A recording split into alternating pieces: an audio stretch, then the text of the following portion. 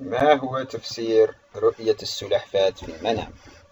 السلحفاة هي في المنام امرأة تتعطر وتتزين وتعرض نفسها على الرجال.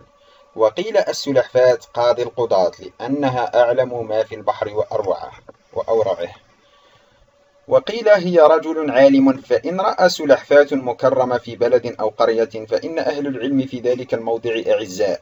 فإن رآها في مزبلة فإن هناك عالما ضائعا بين الجاهلين.